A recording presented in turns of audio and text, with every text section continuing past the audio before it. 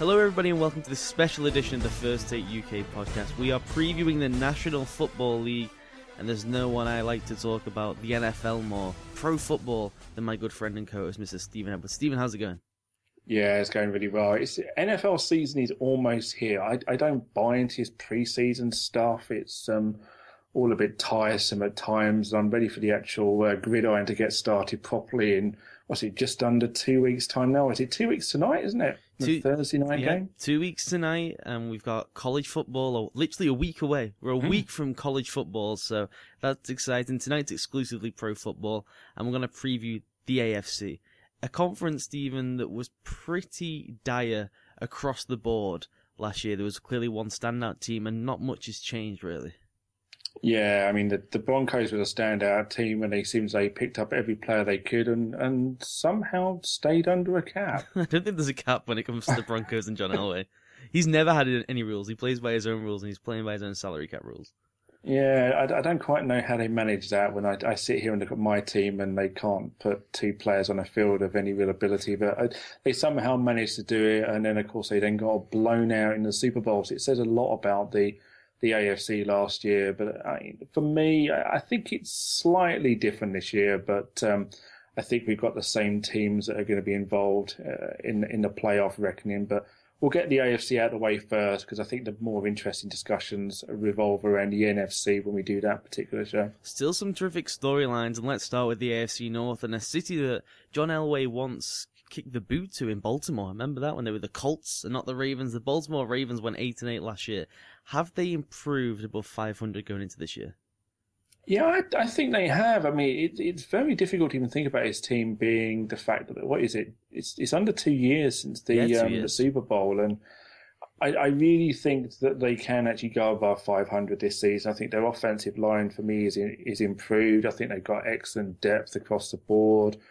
Um, and I think when you take a look at their season last year, I mean, they I think it was at four losses to less than a field goal. So you, mm-hmm you, you kind of look at the fact that any of those games could have gone either way. And I think that they're, they're probably the team that's primed most, I think, for a, a bounce back season in this particular very competitive AFC North. So I, I would certainly um, look for them to get above 500.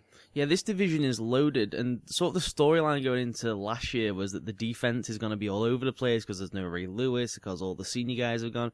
actually, the defense wasn't too bad. They ranked 12th in the league, and it's always with these offensive struggles. I spoke to you about this time and time again. Mm-hmm. They have this really weird scheme fit where they're asking Joe Flacco to ping these little passes all over the place. They're trying to run the football, and then they've got a real vertical threat in Torrey Smith, and they got a guy with one of the best arms in the entire league in Joe Flacco, and it was just an odd fit and it sort of still looks like an odd fit now that Gary Kubiak's there. But at least if they're going to go to a shorter passing game and not stretch the field too much, they've brought in guys who are used to that and can do that effectively. Steve Smith, Owen Daniels.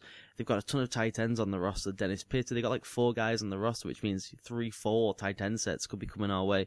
I think we're going to see them go back to some power football because they ran the ball so ineffectively last year. Yeah. Ray Rice, 3.1 yards a carry. I really like the pick with Justin Forsett. They got some decent backs there, Bernard Pierce as well. Maybe it's a blessing in disguise that Ray Rice is banned so they can see what could happen if they leave Ray out of there. And I think that could be the making of the offense. Yeah, I think so as well. I mean, I, I, do think that the, the offense will look very, very different. I mean, their, their running game, as you say, last season was, was pretty anemic. I mean, they, they was running like a Dolphins team of old. They, they could barely get above three three carries, at three yards a carry at times. I mean, you're not going to win football by running like that. You've you've got to be able to have a solid running game in this modern day age of football to allow to open up the passing lanes.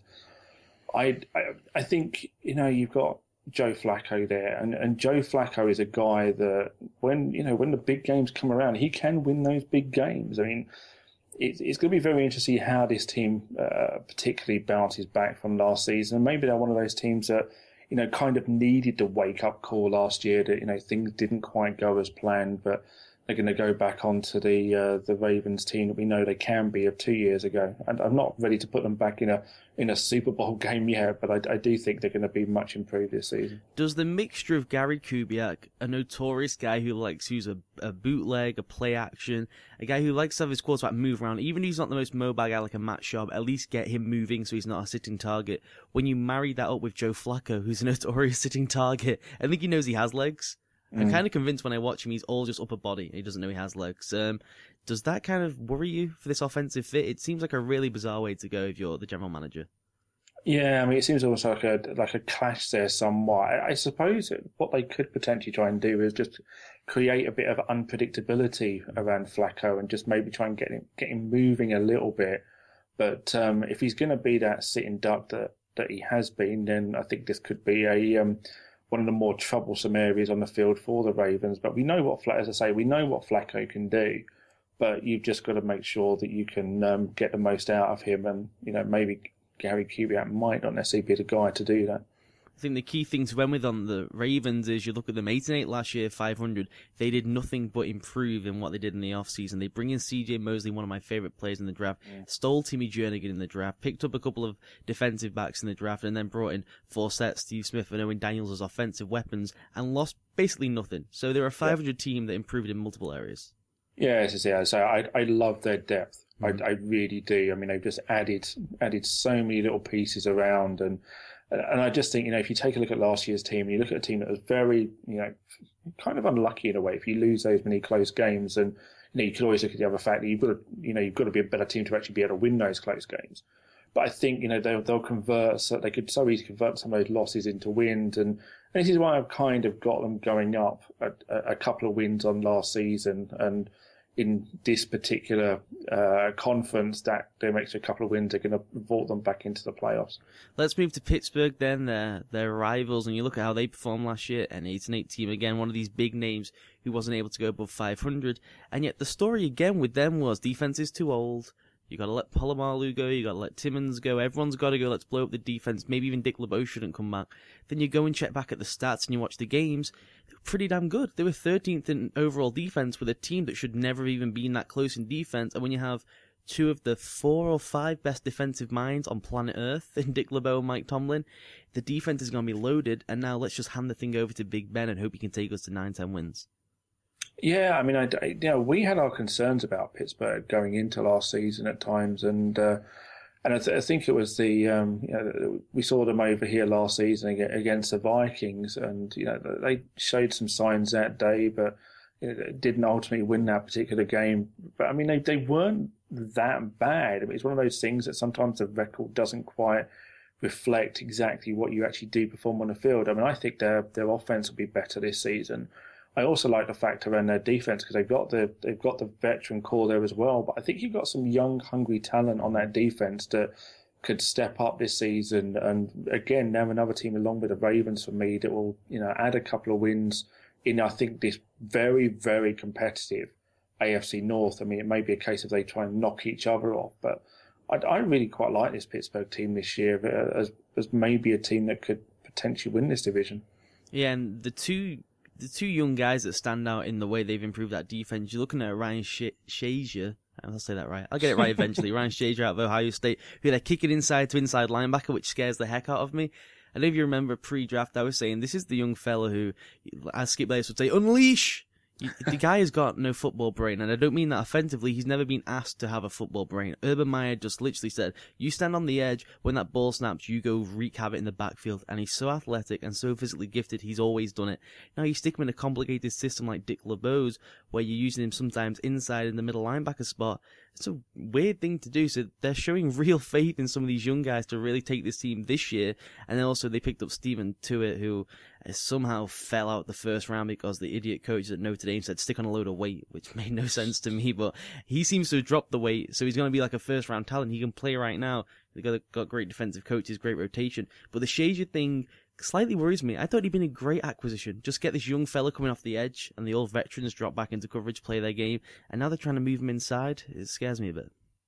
Yeah, I mean, I, I always worry about time when you do things like that with a player because I mean they've been so used to playing um, one particular way, and you're trying to um, adapt them to play a, a, slightly different way. I mean, you, you just don't know how that's going to turn out. But I think, as I say, I mean, you, you've got those veterans on that on the defense, and you've got guys like uh, and uh, and that, that are coming into this team, and they're only going to learn from some of these players that have you know, been there, seen there, done it all, and uh, let's not forget as well, you've got a um, a certain Hall of Fame offensive line coach there as well this year. No doubt about it. Um, they've just so this is another team that's so so clever at acquiring good coaches. Mm. It's like maybe the guy failed as a head coach, but let's go and get him as an offensive line coach, and he'll be the best in the business as the offensive line coach. Not enough organizations do that, in my opinion. They cast them away, they run off to ESPN and stuff, and you've got to keep them within an organization. Offensively, I'm still worried about the Steelers. I really am. Not just the fact they don't have playmakers, but more schematically with what they're trying to do. I would just let Big Ben run that offense. I say yeah. this about quarterbacks all the time. The guys have been in the league long enough. They audible often enough. At least Ben's allowed to now. Let them call the plays. Go no huddle. Or huddle quickly if you want to. Let him call plays, and if you see something you really don't like from upstairs, coordinate to go upstairs. If you see something, mic it into him. Yeah, I mean, the, other thing I worry about with Ben is that the fact that the amount of hits this guy takes. I mean, the, I mean, the guy, to be perfectly honest with you, it's as good job at times he is as huge as he is because that's pretty much saved him from some really, really bad injuries. And you, you just begin to wonder at some point that someone's going to really hit him, mm-hmm. um, and he could really have some problems. But I, I, I, trust Ben as, as you know, alongside a hell of a lot of other quarterbacks around this league because he's been there, seen there, done it all, Mr. Reliable. Um, you know, we we almost looked at last season, you know, almost like a marriage breakup. You know, was was Ben actually going to leave the Steelers? Mm. And now we're looking at going into another season here with Ben still at the helm, and uh, you know, this could very well be a, a season that um, things could go rather well for the Steelers. But it is a, it's an interesting division, and certainly probably my favourite division in the AFC. And do they need to sort out the the fact that their rookies are selling pot to their running backs? it's an issue, right? Just ever so slightly. so slightly. the understatement of the year candidate right there when we do our award ceremony at the end of the year. Come on, Le'Veon Bell. These LeGarrette Blount's like a 26 year old man. Why is he taking pot from a guy out of K State? Jesus, the guy's got serious issues. That's why if I had him in my office as Mike Tomlin, I'd be like, man, 26 years old. What's going on here? I'm not even bothered about the weed, but come on, sort yourself out. Um, let's move to Cincinnati. They've been the cream of this division for uh, you know a few years now. They've been to the playoffs three times. We all know the story. I genuinely see it not a major step back because they've still got all the talent in the world. But do you trust any coach on their coaching staff? Marvin Lewis, I got major question marks. I don't trust Hue Jackson at all, and I don't know enough about Paul Guenther to go in with trust when they just lost a great defensive coordinator do you know, I, I, started to worry there for a minute when you said, let's move to Cincinnati. it's an announcement. I was like, really? Yeah, first take Cincy. I like it. Just have to uh, tell the wife moving to Cincinnati. yeah, Ollie's decided to up sticks and mediocrity to Cincinnati. How do you feel about that? Um, I, I, think the thing, I mean, you've got the f- familiarity on offense. I mean, we talked about this offense last season and how loaded this particular offense could be. Mm-hmm we always look at Andy Dalton. I think he does, you know, he does enough during the regular season, but I wouldn't trust him in a playoff game as far as I could throw him. Um, I don't like the same as you. I don't like their coaching setup. I mean, is it about time that we start really doing a major clearinghouse with this? Because if you've got a quarterback with this much talent around him, you've got to sometimes start asking questions as to why this team isn't quite going that next level. And I think you then start to look at the coaching staff for me, and and I think that's where you definitely should uh, start making some of those changes. But I think they're going to be one of those teams that are going to be uh, they're going to score a fair amount of points, but I, I don't know. I, I think they, they're one of those teams that could like blow out a team one week and then lose a close game the next. I don't know if Dalton's got the uh, mental game to win those close games. And I think that could be one of their biggest downfalls as the season goes on because I think with Pittsburgh, what looks like they're potentially on the rise, Baltimore on the rise as well. Maybe it's the Bengals that maybe take that bit of a step back and, and fall out of contention for that divisional title this year. And I don't trust Hue Jackson, but the one thing he will do is simplify the offense more than Jay Gruden. Jay Gruden is a big elaborate thinker. And that's mm. where when you, know you see him move on to, to Washington, you get excited what he can do with Robert Griffin. He probably had to box himself in for Andy Dalton, and Hue Jackson's a guy who lives in the box, so maybe that's going to be a decent match and will help Andy a little bit more. And you look at how they played last year: tenth in offense, third in defense, and they've returned everyone everyone on both sides of the ball except for Michael Johnson, and they got the guy Margus Hunt who they drafted in the first round last year, so he should be good to go as a replacement now. So basically, everyone's coming back, and I wrote in my notes here: this is a great team in depth, yeah. in quality. My only two questions are quarterback and head coach. Uh, I mean, it, has there been a situation in the recent NFL where a team's been so loaded, and the mm. two major anomalies are in the two most important things in the team? Yeah, I, I completely agree. I mean, we looked at this team last season. I think both of us um, put this team quite high up. I mean, I was sat down stupidly put this team in the Super Bowl last season, but because you looked at the talent, you I... looked at the talent they had, and you was like, well, how on earth is this team not in the Super Bowl? And that's why I think you start looking if it's if you've got these the the offense and the defense is very good as well. And this team is not going to that next level, and there's got to be something fundamentally wrong. I mean, do you trust Andy Dalton to win a close game mentally? Uh, mentally, no. Yeah. this is what Andy has to do: is he has to come out there and say, "I ain't keeping this game close." Well, I don't trust myself. Let's go out there and light this thing up early on, and if it blows up, it blows up. They've been really conservative in playoff games, and I rewatched last year's one earlier today. They've been conservative, and he's blown up. Whereas they do come out at times, they did do in, in the regular season and just throw it all over the place. Gun it, gun it, gun it. We've got AJ Green. They tried to box him up again because they don't trust him in the playoffs. And that was when he was at his worst because then all the pressure's on him. He's like, wow, I've got to do this and this and this. I would genuinely just say, go out there and have fun, try and win the game, throw it all over the shop. And if it doesn't work, I mean, it's no worse than the last three times we tried it, you know? Last three times we tried to box you up and make you the, the thing that would not prevent us from going in and put it on everyone else's shoulder. And you've been, I mean, one of the worst playoff performers we've ever seen statistically and just watching him, he crumbles. He like looks in pain playing the, in the playoffs. Yeah, and this is the reason why I think they're going to win games where uh, some weeks they'll just blow a team out. Mm-hmm. They would just overmatch a team, and then the next week they'll get brought into this close game, and then that's the game they can't win. It, the prime example I think in this division is you put them say against like a, a, the Ravens. Mm-hmm. The Ravens will keep that game close, and then I'll find a way to lose that game. Mm. No, you you smart, and I genuinely agree. Um, where do you rank AJ Green in wide receivers in the league? Fourteen hundred yards last year, eleven touchdowns. He may be, and it's hard to say because you've got Calvin Johnson in the league, so it just throws everything out of proportion. Let's yeah. just put Calvin on like Mount Rushmore out on his own island, and let's start. let's stop ranking wide receivers in his league. Let's just put him somewhere else. Outside of Calvin, he may be the best, especially one on one. Yeah, he's a, he's a very talented wide receiver. I think that's the main issue you just highlighted there is the fact that other people get uh, compared to uh, Calvin, and that's just not fair. That's just a that's a once in a generation wide receiver and one of the greatest. No one's ever had that build. Has anyone been built like that and run that fast? No, it's unfair. It'll never happen again. It's impossible. It genuinely is. Um, I, I I like the Bengals. It's because I love that team so much because everyone's so talented and every year they draft. I'm like, wow, they got the guy I wanted someone to take in the draft, and then they go to Marvin Lewis, and he's just not a good enough head coach. No, but and this is it. I think do you know the funny thing is? I think with Cincinnati is they'll win enough mm. for him to keep his job. Well, he's not going anywhere anyway. They're not paying no. anyone. They're not going to pay anyone. Don't be so silly. Um, let's move to Cleveland. Next stop on the bus tour. We're moving to Cleveland. Back up, people. We're moving to Cleveland. Uh, we had the announcement. Was it yesterday? Early today? I can't even remember. Um, Hoyer over yeah. Monty Yanzel. We're taking the Thomas More approach. We ain't saying his name anymore. It's Monty Yanzel until he becomes newsworthy. Um, right decision, wrong decision?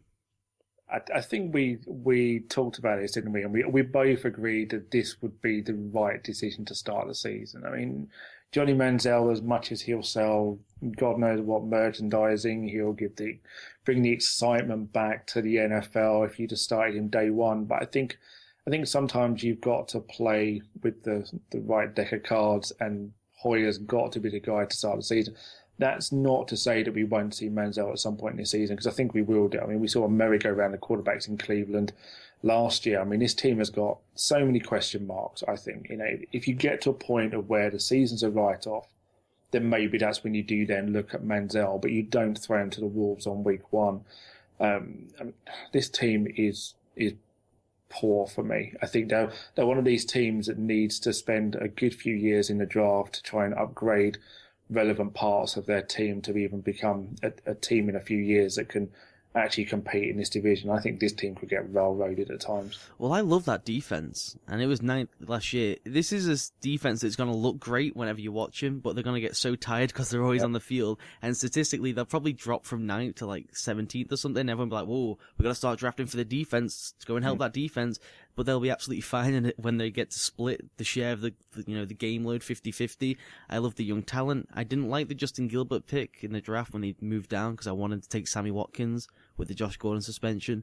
But I think they've drafted pretty well. They got one of the best corners in football in Joe Haden. The defense is sound. Then let's look at the offense.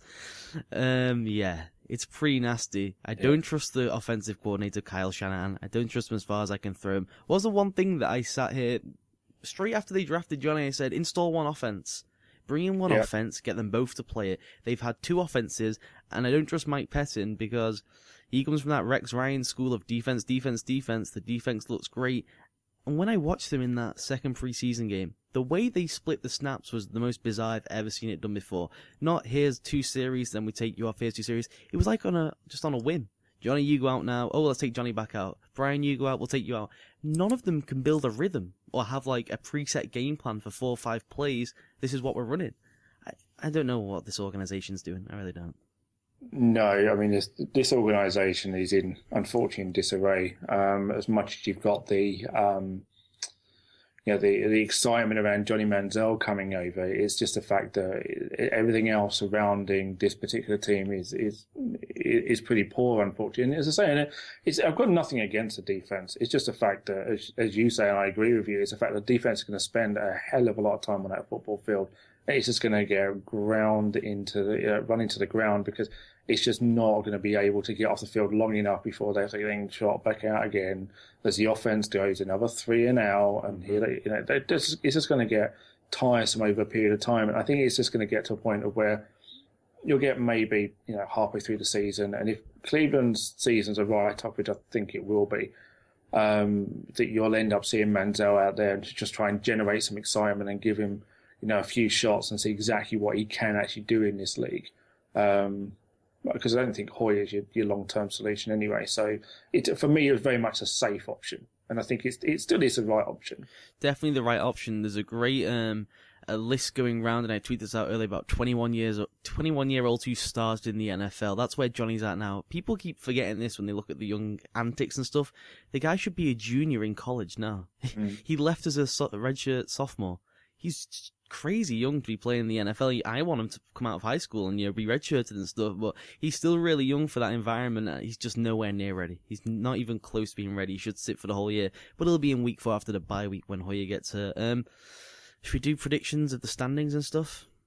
Yeah, let's do let's do predictions. So I've gone and given some of my commentary first. So where do you see the AFC North? Well, I got the Browns. I think it's going to be pretty damn bad. I just look at the offense. You got Ben Tate, you got Miles Austin, who's always concussed. You got Nate Burleson, who's never healthy, and you got Jordan Cameron, God love, and he's gonna have to. He came out of nowhere last year. Now he's like the primary option as tight end on a really yep. bad Cleveland Browns team, and then he's gonna be looking around and be going, "Why is my five foot eleven quarterback running all over the place in week seven? Because that's what Johnny Football does. say. it's gonna be rough for them. It really is. I think it's gonna be five and eleven, and there's gonna be times, unfortunately, where that great defense is gonna look bad, and they'll probably quit on the game. It's just one of those situations. They've got the Ravens at eight and eight. I know they've improved slightly. It's more of just a a, a thing on who they're gonna play. The schedule that I was looking at earlier, it looks pretty rough at different points. I just can't see them. I just don't have enough faith in them in that offense at Gary Kubiak until I see it to put them above that eight and eight mark. Bengals at nine and seven, big drop off from me from them. We discussed that. And I got the Steelers at ten and six. I just trust them to win. That's the, this division to me comes down to trust because they're all talented, and I just trust the Steelers more. Yeah, I mean, I it, it's a very very tough division to call outside of Cleveland. I, mean, I think we we all sit here and agree that Cleveland are going to finish last. I've got I've got Cleveland at four and 12 mm-hmm. um, I've got Baltimore at nine and seven. I think I've got a, little bit more trust in you. And we talked about it earlier on. I think they are going to go above um, 500. And then I've got Cincinnati at 10 and 6. Mm-hmm. And then I've then got the Steelers also at 10 and 6. Oh, nice. So I think I think it's going to be a very very competitive. I think it is the most competitive division in football, and I, I think that's the way it's going to go. Um, and then um, the, the, the top three teams in this are going to make the playoffs. Baltimore make the playoffs at nine and seven. they're all going to keep kick a ton of lumps out of each other. They'll all, oh, be, they'll all be done by the playoffs. They'll all be burnt out. It'd be incredible. Um, let's go down south, and this is a place I would move to. I would move to Jacksonville, Florida. I would definitely move to Jacksonville, Florida. And as I move there, they'll move to London. I'll be happy, happy as Larry when I have to watch them play football. Um, they've improved a fair bit. They were, everyone was like raving about them at times last year. How much, how much growth they've shown. They won a game in football. Congrats to them. they went 31st in defense and 32nd in offense. It's about as bad as it can get. It really is. Um, but they have improved with some of their additions. I love what they did in the draft in terms of the receiver position. I love they yeah. went and got Toby Gerhart. You know, I rave about him as the backup from Minnesota. Upgraded the offensive line, which will help the young rookie when he eventually plays. Got Blaine Gabbert out the building. Got Maurice Jones-Drew out the building. All in all, very good offseason in my opinion. Yeah, I mean, I, I think they, they had a, a very good draft. I mean, if you like you say there, they got they got a talented crop of uh, rookie wide receivers that you know they probably haven't had the weapons there in some time, and you know you add that into what they've what they already have. So I think that's really going to help. I think I think the optimism's there because I think they finished four and four in the last eight games in 2013, and it's all of a sudden given um, a few London Jaguars fans a little bit of hope that this team might actually be a little bit competitive this season. You but, should want them uh, to start winning, London Jaguars fans. That'll make the commissioner move them quicker. yeah, I, I, mean, they are moving in the right direction. Um, they say in general they they are going to do uh, better than they have done. But I mean, we've got the quarterback uh, situation with uh, you know, Chad Henne and I don't and, and and Bortles. I think we ultimately want to see Bortles mm-hmm. be the quarterback, and I think we will do when um, Henne starts stinking up the joint. Hmm. Eventually, he will do, but. The, the, I have a bit of a question mark above uh, about Gerhart at, at the running back, to be honest, because I think you, you I think they were they were keen when they went out and got him. It was like one of their you know their, their guys they really really wanted um, mm-hmm. to come over um, to be their starting running back this year. But obviously it's a it's an unknown situation for them because he's not been a guy that's had to be the feature back over the course of a season. So it'll be very interesting to see how he actually adjusts to being able to do that. But you know, there is some optimism there for Jacksonville. They are moving in the right direction, but let's not get carried away. Yeah, I, I like Gerhart. I think he's gonna have to be only gonna have to be like a four yard runner. Genuinely, they run. They're gonna run this power run scheme with Jedd Fisch. Let's just get eight yards on first two downs and then try and be, you know, efficient on third down and try and win some ball games. I love their defense because I love their defensive coordinator. People have to go on YouTube, this guy speak and just talk about football. He's epic. He's called Bob Babich and he was doing this interview the other day to the press corps and it was hilarious. They were asking him about his scheme, how he wants to run defensively and he was literally like, I want the ball. Like deadpan. I wish I had links to it and clips we could play now, but he's just like, I want the ball. I want to go get the ball. I'm making the prediction now, they'll have the most penalties in the entire NFL, and it'll be double whoever's second. I think it's going to be unbelievable to watch him. You got Gus Bradley from, you know, the Pete Carroll school up in Seattle, trying to bring that down south. You got Bob Babich, who doesn't care about first downs, you know, big yardage. He just wants to punch and attack the football and get it back to their offense. This team's going to be fun to watch defensively. Yeah, I think this team is going to be fun to watch, which is just as well because you can get past them god awful uniforms that they wear. Because I'm I'm not a fan of of those, but uh,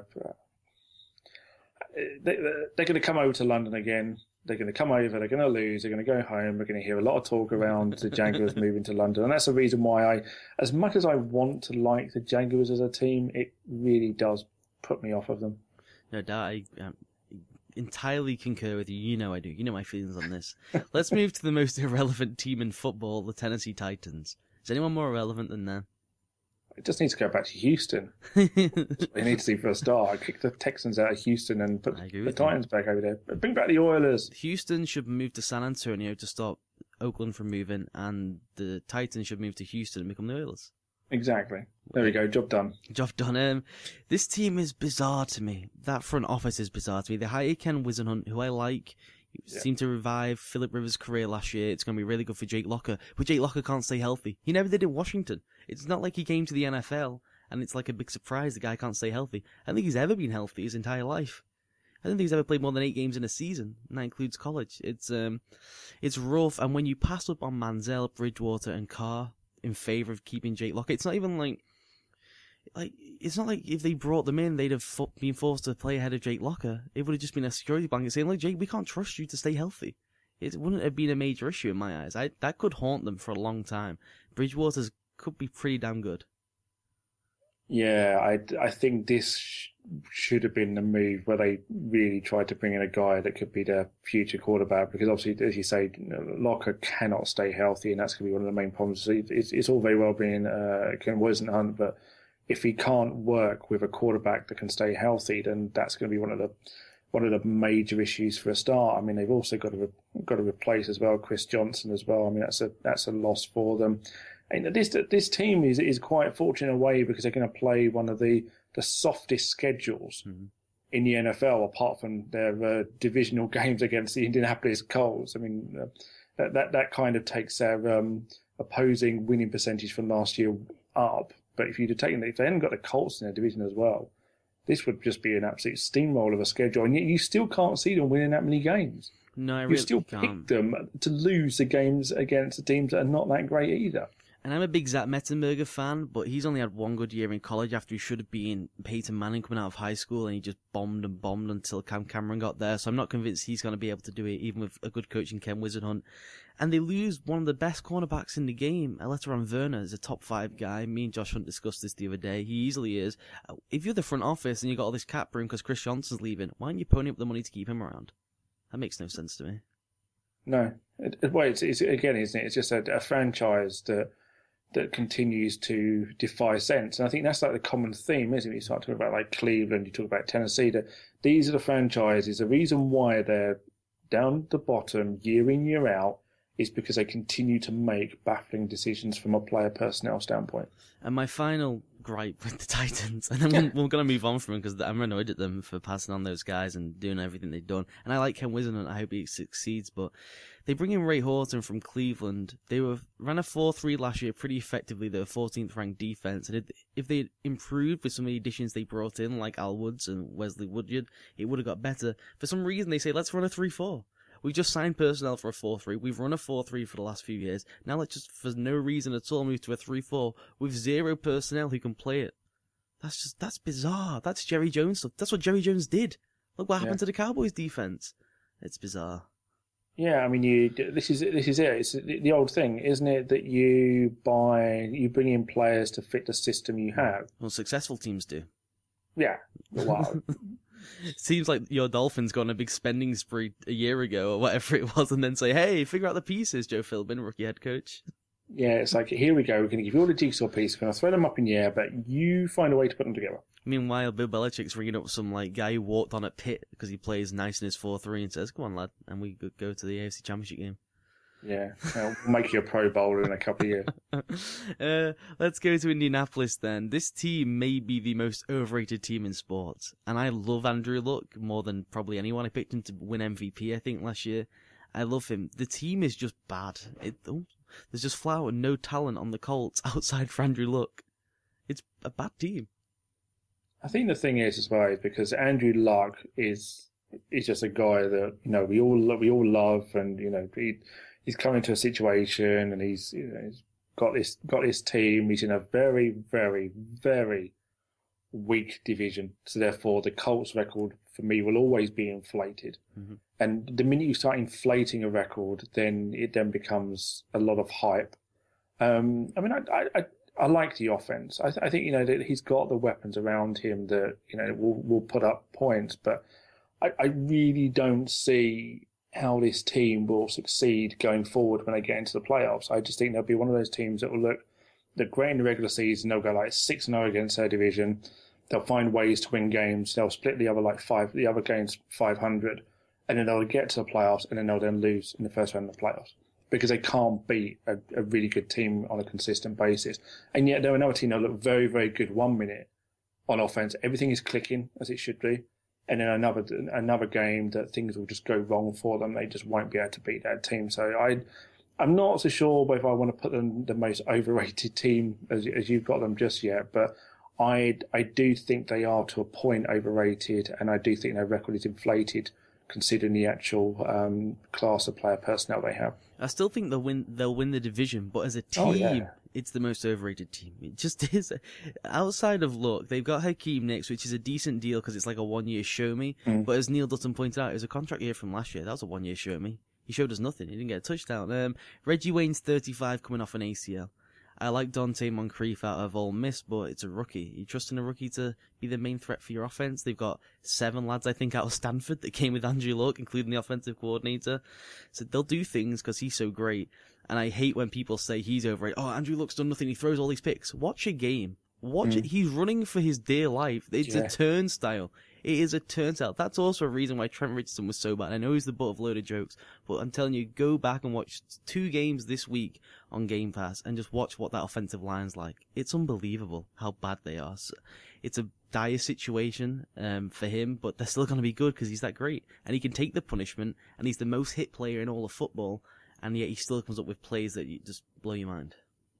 Yeah, and and that's what, will win games. He'll he'll do that um, and win a game almost single handedly. I mean, I think I think Hakeem Nicks is in a is in a better situation than he was in last season. To be completely blunt about it, I think he will he will hopefully step up to the plate and provide a, a, a nice part of their wide receiver tandem there in Indianapolis. But um, I, I just think they they've got still too many weapons on offense for a lot of teams, and they've got they've got these offensive line problems, but Andrew Luck is going. It just makes takes that away from you.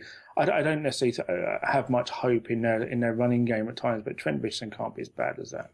Um, I got one final thing on the Colts to go all football nerdy again, and it's basically a, a signal message to Colts fans, to Chuck Pagano, and to defensive coordinator Greg Manusky people need to get on his mind and in his head because this guy is maybe the smartest guy to talk about defense on the planet Earth. That's how clever he is. But they run Steven so many sub packages, you know, of different personnel groupings. It shows his hand. I tell you, you watch the games, and I've heard people talk about this all the time. You know, they bang on about it SI and on the MMQB. You know what play they're running because of the personnel group. It takes like two seconds to figure out because he's got so many layered things, just different concepts and sub packages and he just shows his hand. He needs to be reined in to the point where let, us just dumb it down a little bit, Greg, so we can look. You know, maybe the quarterback doesn't know what we're going to run before we run the play. Yeah, I mean, if you, you're becoming that predictable, it just means you, you know, teams and and uh, players around the league will learn very very quickly what you're about to do, and it, unpredictability on on defense can make up for a hell of a lot of things. And here we get to Houston with Sir Bill O'Brien, the saint that is Bill O'Brien, can do no wrong in the eyes of Penn State faithful. Um, Houston is such a bizarre team. When you go and look at the numbers, then you watch them last year, they quit on their coach. Okay, the the offense didn't show up. Then look at the numbers; they were 11th in total offense and 7th in total defense. How does that happen? How can they be top 15 in both categories and be one of the worst teams to watch in all of football? I know it doesn't make sense, does it? I mean that that that team had so many problems last year, um, and yet the, the stats don't um, take that into account. I mean, let's not forget, was it the Texans started 2 0 last year? Mm-hmm. If I remember rightly, and then they didn't win a game after that. Um, it was pretty tough for Texans fans around uh, around the NFL fraternity, and you just you just cannot make any sense of it. I mean, uh, they've got arguably the, the best defensive player in football in JJ Watt. They got the best player in all of football in JJ Watt. Yeah, I mean, and you now put um, Jadeveon Clowney with him. Might um, be the second best player in all of football. I just, I just think about this, and I'm if Andrew Luck really does have any sense, I, I would somehow have a migraine for both of those games because I, I think that, that, not to go back to the culture, but the cultures need to get to the playoffs. They're going to get to the playoffs anyway. So what's the point in having Andrew Luck point. having to get these two games against these this two man wrecking crew? that could just cause so many so many problems for you. So if I think a lot of quarterbacks are going to have a very very bad day or have a migraine or something, and they're not going to want to play these particular games because I wouldn't want to play against them too. They they've all of a sudden become a very very dangerous defensive tandem and going to be difficult. I mean, the offense. I mean, they've got they brought Fitzpatrick over um, to be the quarterback. A lot of pressure still on Foster to be the focal point of the offense, and I think this is going to be a team that is not going to be fun to watch if you're going to want to watch a game on Game Pass. I think they're just going to be a, they're going to try and ground out results on a week in week out basis because I just don't think that they're going to be they're going to be anywhere near. I am genuinely scared of JJ Watt and Jadeveon Clowney myself, just sat here. That oh, they, oh yeah, they may come, I would be as well. they may come through the wall at me at any point, in the pair of them, because that's how fearsome and scary look. And I love, remember when you go back to the draft and you look at whether the Texans should take Clowney or whatever, and people started to break it down. What defense will they run? Can Clowney play outside linebacker? I love that Romeo Crennel's like, F that. I'm going to line both of them up on the line. I don't care if you want to call him a pass rusher or a stopper two of you just destroy the backfield. As the snap happens, just obliterate the whole play, and it's going to be mm, devastating to watch. I think they'll be fun to watch just for that factor, just to watch JJ and Jadeveon. But outside of that, the team's lacking in real offensive weapons. I love Andre Johnson, but he's getting up there in age. Arian Foster, I don't buy into it. He was in a major zone system before, now he's in straight up man to man. It's a difficult thing to overcome for a running back who's done one thing for his whole life, so it's a wait and see moment. And they haven't got a quarterback. They got a quarterback who shouldn't be playing football. Every time his name is mentioned, I'm going to bang this time and time again. He's had like eight or nine concussions now. Yeah, I know. The commissioners say, I'm sorry, that is too many. I don't want it on my conscience that what's going to happen to you when I meet up with you in later life, what's going to happen with that many? You shouldn't be playing anymore. They're an ideal example, if I'm them, where I say, this will be fun to watch on defense. We'll get everyone hyped. We'll sign JJ to a major extension before the season starts, like he should get paid. And let's just stick Tom Savage in there, the young lad out of Pitt, pro style guy himself, major arm, go through the growing pains, and if you finish 2 and 14 again, fine, draft Jameis Winston, draft Marcus Mariota. This makes no sense to just stick Ryan Fitzpatrick and throw in the rookie. He might blow your mind, and just have fun with the defense and try and get, you know, a decent pick, because they're not good anyway. if they go 5 and, you know, whatever, 5 and 11 with Fitzpatrick. Just takes them out of a decent spot to get a good quarterback. Yeah, I mean, I, I think I think you're right there. Is put the it, it'll be wise to put the the rookie in there, I think, for nothing else as well, because I think this Texans defense will keep t- this team in games. Mm-hmm, I agree. So you you know you you're all of a sudden you're you're not giving the, the a rookie quarterback a chance to you know learn on the job in terms of you know getting used to the NFL and things like that, but you're also giving yourself a chance to maybe look at what this guy could do in close games. Um, which point. is something that you know is invaluable experience and certainly be you know worthwhile trying. I think going back to your point about concussions, I, I'm beginning to wonder now whether you should have like a set amount of concussions and then that that is it.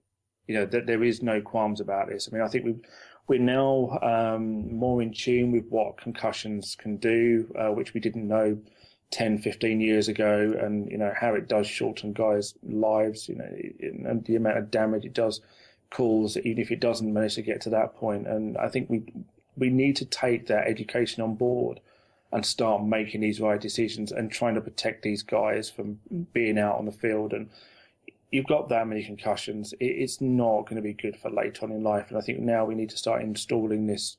Maybe I, I don't know how many I want to say here, but I think we do need to look at it a lot more closely and actually maybe have a set number. And even if it's not, I say like, okay, five concussions, that's it, you're all done but say like a certain um, testing procedure after a certain number of concussions. Mm-hmm. Um, you know, more tests are done, you know, and you really start getting the, the best in the field uh, knowledge and getting them to make a decision whether these guys can physically play or not. Because you know, a, a player's not going to co- not going to come and tell you, and we, we all know for a fact that there are players around this league that have had concussions that we're not aware of. Oh, it happens all the time. They, yeah. they say I got dinged coach and stuff, and the coach says you're okay to go, and they say yeah. That's the issue. I did the full make you a commissioner podcast that the UK Zone lads did for me to make me commissioner. I brought this point up exactly, and Robert said it like you say four, which I think is maybe even one too many to have. You know, mm. from high school to college to the NFL.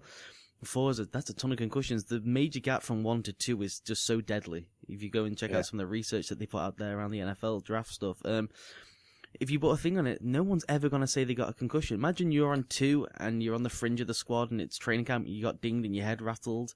You're not going to be like, oh god, yeah, I'm going to yeah. let him know I got a concussion. You're going to do everything to go off it. Then you'll be pleading with coaches. It's it's a tr- very tricky thing to do. The only way to do it is to get shady behind the closed doors and say, owners, don't sign guys with these concussions, yeah. and um, I'll give you this or whatever. And it's not going to matter because if it's Peyton Manning, they're still going to sign him. Yeah, I mean, it's, I mean, the other thing as well, it's I always say about it is the fact it's not the initial part of it when you first get the concussion. That's the issue with the concussions. The Ryan Fitzpatrick thinks, yeah, I want to get a paycheck. I want to, I love football. I want to keep playing. 20 years down the line, if he picks up another one and it is genuinely, uh, people check the numbers, it's like seven or something. Yeah. And as I'm always told, Javon Hayes said this to me before, double it. Double a number, maybe take off a couple of its crazy eye, but people get them all the time, and you have to double a number that are play quotes. Yeah, it's quite scary. I mean, we had Javon on the show, and you know some of the things you get told. I mean, it's, it's very, very scary. And as I say, I worry about the, the post concussion syndrome as well, which can be, you know, it could be really, really nasty. So it's not even the initial part of the concussion; it's the, it could very well be the uh, the follow on from it. But going back to the the Texans as a whole for a minute, I think yeah, it fun on defense, offense. I think you you're going to not enjoy that too much if you're a Texans fan. Let's get to the AFC South rankings then. I went first last time, so I'll give you the baton. Okay, I have the Titans finishing at 4 and 12. Um, I just think that the, the, they are the worst team in this division. They've got one of the easiest schedules, and yet they're still one of the worst teams in this division. They're sort of worst team in this division. I've got the Jaguars at 5 and 13. That 4 and 4 finish is not going to vault them um, too much to too many more wins this season. I've got the Texans at a surprising eight and 8 mm-hmm. I really think that the the defensive damage that they can do will keep them in games, and they'll win games that they shouldn't necessarily win. And then I've got Indianapolis winning a division uh, eleven and five, so I think they'll go six and zero oh against their division, but they'll go just a not a mediocre, but a fairly average five and five against everyone else and that's what will sink them in the playoffs because they can't beat the better teams. All right, then here's mine. I'm going with four and twelve for the Titans. They should be the worst team in the AFC, but there's so many bad teams that they're so fortunate right now. Shocking. The Jaguars seven and nine. I'm wow. all in on that defense, and I love me some Gus Bradley, and that's a major turnaround for me because I hold grudges really well. And I don't like the Jaguars, so that's a big turnaround for me. And I'm going to shock you some more, Steven Edwards. The Houston Texans are going to go above 500. 9 and 7. They should start Tom Savage from day one. The boy can ball. That defense is ridiculous. All they need to do is get to 14 points on offense, not turn the ball over. The defense will take care of the rest. And the Colts, same as you, 11 and 5. The, I don't think they sweep the division. I think they drop one to Houston. They'll drop a couple of games along the way just because of talent, and Andrew gets one hit too many or can't pull out the bag. But they'll definitely win the division and make the playoffs. So look, anyone who's listening to this is a Houston Texans fan. I think you should be happy. I mean, we're saying how bad this offense is, and yet we're still sitting here predicting. I mean, myself at eight and eight, and yourself at um, nine and seven. So it's it's happier times, and if you can put some offensive players on the field um, over the next year or two, it's going to get very very interesting. Of course, that kind of a record will take you out of that elite quarterback that you maybe want. Trust in Tom Savage Houston. Start the boy. Just roll with it. Um, AFC East, we move to. It's our division as a Patriots fan, as you, the Dolphins fan. Where better to start than South Beach with your Miami Dolphins? Oh, how I've looked forward to talking about the Miami Dolphins. Um, it it cannot be as bad as last year. Even if you take a look at the, the off field stuff, it it cannot be as bad as that. I'm still surprised that there are certain guys that have got jobs on that team. That, Call him out by name, Joe Philbin. yeah, I'm looking at you, Mr. Philbin. How on earth have you still got a job? Um, all of that went on under your watch, under your nose, and yet you've still got a job. But I, I didn't know. Just... I didn't. I didn't know, Steven. I had no idea. You didn't know. it's more of an indictment, you fool. That was the worst statement I've ever read. Until I read the LMA one on Malky Mackay like ten minutes ago. That's the worst statement I've ever read in the history of sports. I didn't know. Well, that's not good. That's not a good thing. Do you, do you know what we actually? Do you know? I actually feel as though we missed a trick last season. What we should have done was actually do it like a like almost like a, a, a trial, and we could have all played the parts of the of the characters. I think we kind of maybe missed a trick oh, then, but I think it might have been a bit of a hard episode for myself to get through, to be honest. I'd have played judge, jury, and execution. I would have sent that man down. Um, 27th ranked in offense last year. It has to get better than that. There has to be progression from Tannehill. I like what you've done with the offensive line. I love the young rookies. We discussed this after you drafted them. Ja'Wuan James is going to be decent. And I actually kind of really like Billy Turner. He projects, you know, I think he's moving to left guard. I think they're going to play him at now. It figures to be some region of Branden Albert, great signing. Ja'Wuan James, Billy Turner, Shelley Smith, and Mike Pouncey as the all pro center. So you've got two big names who are really good guys at two of the key positions, center, left tackle, young, good exciting prospects who can be no worse than Jonathan Martin and Billy Incognito, and then just a solid player in Shelley Smith.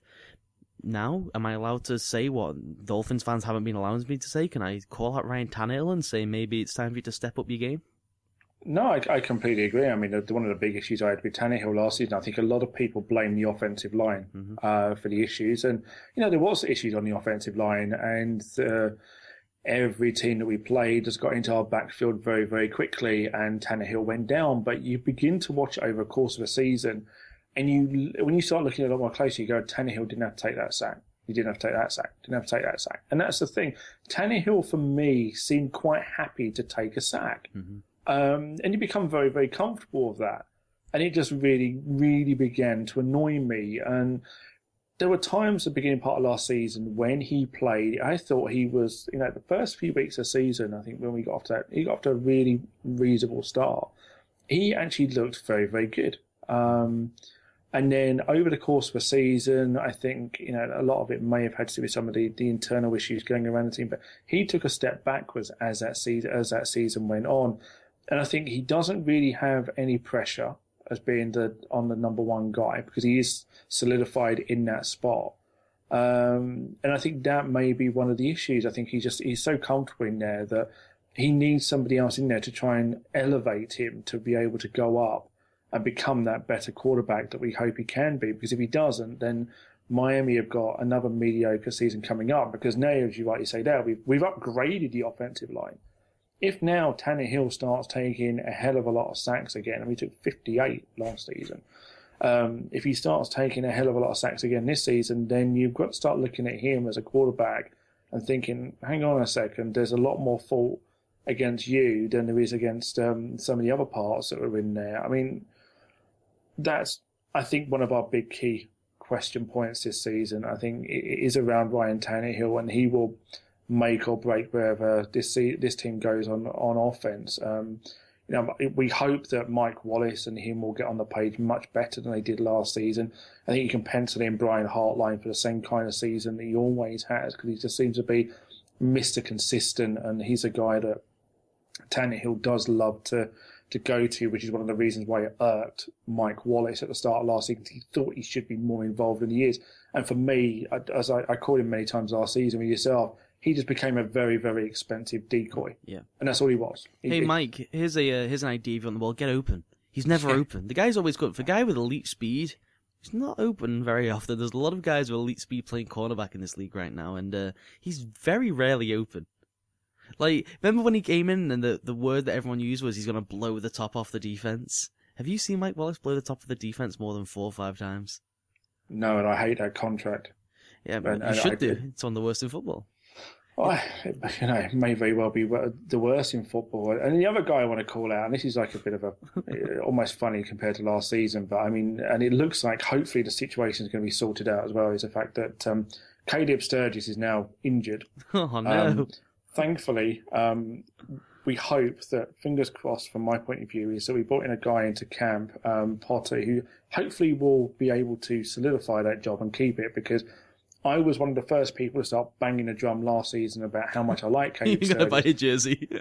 um, and then I was also one of the first people to turn my back on Caleb Sturgis because what I noticed about him was that when the weather was fine, the guy could kick no problems at all. He could kick very, very straight, very, very far. When you got to a point in the season where the wind, the bad weather, he made zero adjustment whatsoever to anything, and he just became a very, very poor poor weather kicker, and that's just not going to cut it in the NFL anymore. You've got to be Mr. Accurate. So I'm kind of hoping that I'm going to try and get Caleb Sturgis out of a job in Miami and uh, he will be replaced because I'm really not happy with that particular kicking situation. I wish with all the wishes in my life you had bought that Caleb Sturgis jersey. so much, so badly. I wish you just because it was like a custom made one. You had to custom make yeah, I, I, I, had a custom made jersey. It was it was myself and you that were sitting here one night and we come across this website where you, the, the, jerseys, the, the amount you could buy were just fantastic, and we were just sitting there like talking about what shirts we would like to get. And I was like, I, I'd really love a Caleb Sturgis Miami Dolphin shirt. I think that'd be like a kind of a, a cool shirt to own to go alongside my Ryan Tannehill one. And thankfully, I didn't invest some money, although the Tannehill jersey could be worth it in a year's time, to be honest. Uh, the Tannehill thing is interesting. He gets so many passes from people in the national media. I don't understand what he's done to garner other than the fact he's got a very attractive wife. Like, he just made Mike Sando, he was second overall on Mike Sando, who I really respect as a writer. He's a good guy, on his breakout list. But he came in the same draft class, and yeah, you don't want to compare, but Robert Griffin's already made the playoffs. Andrew hmm. Luck makes the playoffs. I mean, we hold him to the highest standard. He came into a team that was in a very similar situation. They brought, you know, everyone with him from Texas A&M that he demanded, the offensive coordinator. You know, everyone came with him that he wanted. They drafted a guy for him. I mean, he's been given everything except for the fact that his offensive linemen didn't like each other. Didn't help. But like you said, he took so many sacks when he could have thrown the ball away. He's athletic. That's what we all heard about. He's athletic. He could have took off. Do you think? I think he's thinking too much. That's what yeah, I, I do. I, I, I agree with you. He is overthinking. I think you know maybe it was some of the issues surrounding the, the whole team last season that really didn't help him because I mean he he really did get off to a good start last season, and then the the wheels came off very very quickly. And it'll be interesting to see how he gets gets off to that start this year because I think he does need to not only prove to the, the Miami Dolphins, I think he does need to prove to himself something as well that you know, he can be that, that really good quarterback in the NFL. And he, he does need to be. I mean, Miami have had all kinds of problems with starting quarterbacks since the Dan Marino era. By the way, uh, another guy who didn't receive any criticism during the Dolphins scandal. If my life is on the line, every time I go out there, I'm finding out if my offensive linemen are okay. I'm buying them cookies. I'm the one buying them cakes. I'm making all the Starbucks runs. If they want to go to a strip club, I'm footing the bill. My life, I reckon that's what Tom Brady does. You think Tom Brady doesn't know how his offensive linemen are feeling? I, I, think Tom Brady knows how every member of that offense is feeling. To be completely psychic, psychic Tom. Um, let's go to the Jets. Then eight and eight last year. Rex Ryan remains. I'm happy to keep Rex around now. The defense is going to be legit. They got one of the best five techniques in all of football in Muhammad Wilkerson. And then, as always, with the with a Rex Ryan New York Jets, what the heck is going to happen with the offense? And I have a rant to do about this, but I'm going to pass the torch to you initially. What are they going to do? We got Geno, we got Vic, we got very little weapons, but they ranked 25th last year, so it's not as bad as some people thought. When you look at some big name teams that we'll get to at some point in these previews that rank behind the Jets, they've been worse with a rookie quarterback. How do they go about their offense this year? Yes, I mean, I. It's a funny situation, is that they bring in Vic to basically be the veteran backup and now we're looking at a, a scenario where uh, Vic could be the starting quarterback at, at some point this year.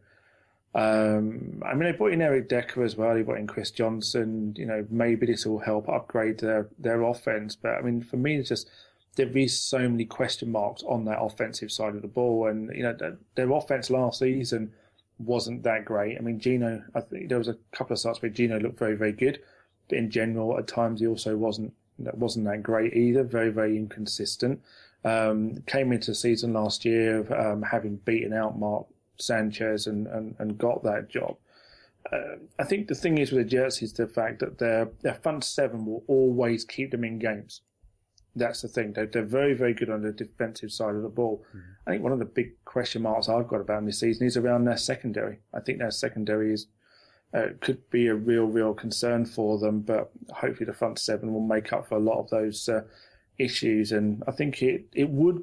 I'm coming round to the idea of starting Vic over Geno Smith. Oh, no doubt about it. I mean, the the defensive backfield, they really need Dee Milliner, who says he's the best cornerback in football, to step up his game and try and act like the best defensive back in football. They've never been able to replace Darrelle Revis because they started to build a scheme that had Darrelle Revis. and mm. those guys don't walk through the door every day, so it's difficult. My rant on the offense is this. and I'm looking at the entire NFL when I say this.